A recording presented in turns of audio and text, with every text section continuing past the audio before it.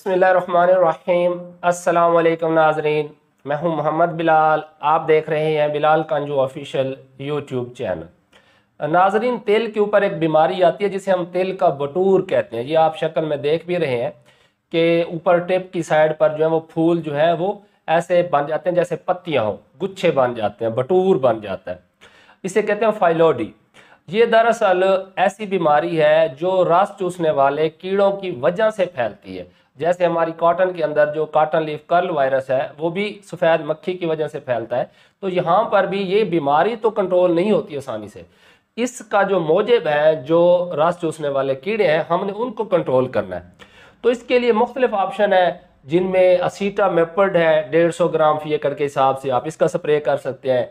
इसके अलावा ज़्यादा बेहतर है कि मसलन अगर वहाँ पे थ्रेप्स का भी इशू आ रहा है सब्ज तेले का भी आ रहा है और हम सफ़ेद मक्खी को भी कंट्रोल करना चाहते हैं तो जो फ्लोनिका मेड प्लस एबामैक्टन जैसे ये बेग हिट वगैरह है, ठीक है ना, इसी तरह किसी भी और कंपनी की तो फ्लोनिका मेड प्लस एबामैक्टन आप इसका स्प्रे कर लें।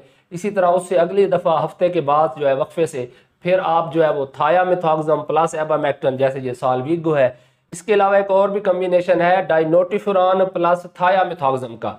उसके भी बड़े अच्छे रिज़ल्ट मिलते यानी थ्रेप्स सब्ज तेला और किसी हद तक जो सफ़ेद मक्खी है, उसे कंट्रोल करने के लिए आप इन प्रोडक्ट्स का जो है वो इस्तेमाल करके दो से तीन स्प्रे करेंगे, तभी आप अच्छी पैदावार ले सकेंगे। फाइलोडी की बीमारी से आपकी फ़सल महफूज रहेगी।